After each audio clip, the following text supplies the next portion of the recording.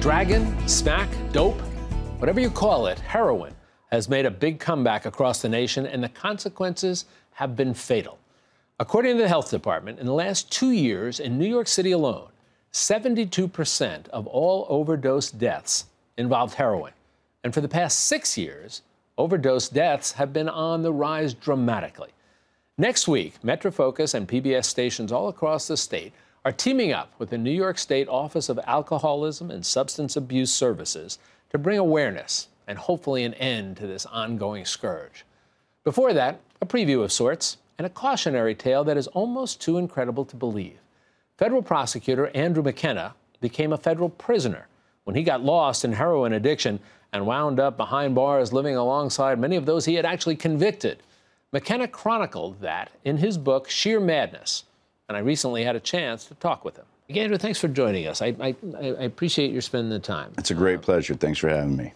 When you look at the first part of your resume, it reads military, JAG officer, federal prosecutor, and you think, impressive guy. And, and in meeting you and talking with you, I, th- that reinforces that to me. Okay. And then you see a little farther along on the resume, federal prisoner. How'd you get there? Paul Grondahl, who writes for a paper in Albany, and he reviewed the book, and he had a great line that said, Heroin doesn't read resumes.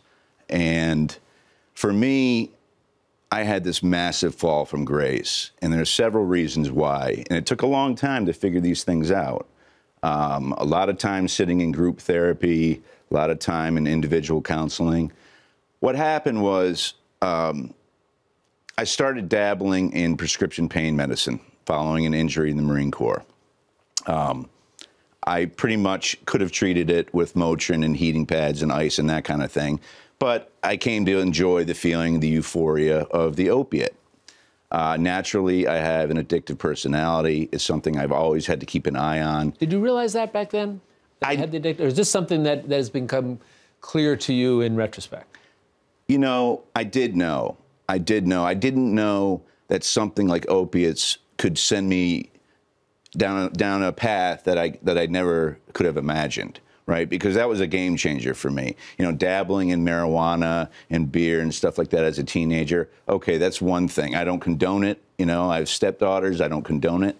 But you know, the opiates grab you in a way like no other drug can. And not only is it the psychological addiction as, aspect of it, but it's the physical addiction. When you run out of opiates, you feel absolutely miserable. And I'm not just talking about Lortab, you know, and hydrocodone, oxycodone, but if you get into OxyContin, which is what I did eventually, that's a completely different ball game. Did anybody see this happening with you? Did anybody did anybody grab you and pull you aside and say, "Hey, Andrew, man, eh, you know, you, you got to slow down here"? What was happening I was I was functioning at a very very high level, which I write about in the book. Um, I was leading largely a double life, and but as we know, you know through you know addiction counselors and through common sense, that's really living that lifestyle is a house of cards. It's eventually going to come down, um, and it did for me. And um, I ended up going through a difficult custody battle. Uh, after I left the Justice Department, we moved back to Albany, New York. I had two young sons. Um, I had a decent job, but the wheels were coming off the bus. And I couldn't find a doctor in New York to prescribe opiates at the level that I was sort of addicted to. And so I went to the street drug dealers, basically, through an old acquaintance, and uh, found OxyContin for the first time. And that was just a, a game changer. I remember sitting in uh, an office, pouring down sweat, you know, on the verge of vomiting in my waste, uh, you know, basket because I couldn't get any more OxyContin. And eventually I turned to heroin. It's a common story. It's a tragic story because I was able to pull out of it but not until I did 65 months in federal prison for bank robberies. Let me talk about sure. that. Because I, I, think, and, and it's a fascinating book. I want people to read it. And, and you're very open and candid. But it, it, before you said that, people were probably watching us and listening and saying, okay, here's a guy, you know, had a great future and great talent, got involved in this heroin, you know, probably lost his job, probably, eh, you know, maybe even, you know, falsified some prescriptions you got involved in bank robbery. Right, and this is where the page sort of turns, um, where my story is different from the guy who just gets addicted and goes to rehab and gets better or doesn't get better.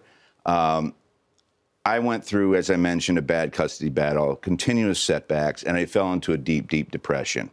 Um, the setbacks that I got in family court were 99% my fault, right? Um, but I couldn't see them, and it broke my heart. Um,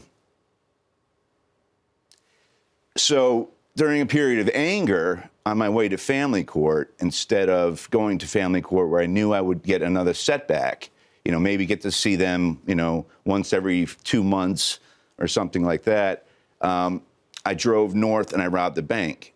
Now, and you say that, let me, let me stop you. Yes. Drove north and I robbed a bank. Right. How does that happen? How do, you, who, who were a, a, a JAG officer, a federal prosecutor, you're a smart guy, obviously, you're a personable guy.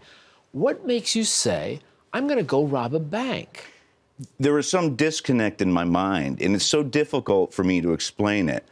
You know, I needed money, clearly, um, but there were other options, right? Um, I'm not a sociopath. Um, I'm not, you know, clinically insane or deranged. So I don't know. I don't know what happened when I passed that exit and should have gone to Saratoga Family Court and instead drove to Lake George. But something clicked in my mind or didn't click in my mind.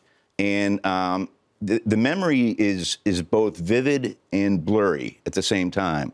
Um, and is it, is it almost like when you think about it, you're watching a movie? Is it somebody else you see doing this? It's exactly right. And it's almost like it's that weird filter on a camera where the colors are just off a little bit.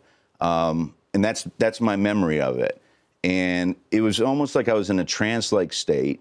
Um, and I, you know, I travel the country now talking to different groups, and I talk about, you know, the dangers of prescription drug use, just use, not abuse. You know, but how that use can turn into abuse, and then ultimately can lead to heroin or more dangerous things. Um, but one of the things I talk about is that point of me going past my family court hearing and, and doing what I did. And the message is sort of like be aware, be super self aware of what you're going through in your life. Talk to people ask for help because help is there and the students are receptive to it. After i speak for 40 minutes we go on for 30 minutes for q&a so again the book is called sheer madness from federal prosecutor to federal prisoner. Andrew a harrowing life story but it, it sounds like you're on the way to a good ending. If i if i can help others that's therein lies the redemption. So andrew mckenna thanks for spending some time. Good luck to you. Pleasure. Thank you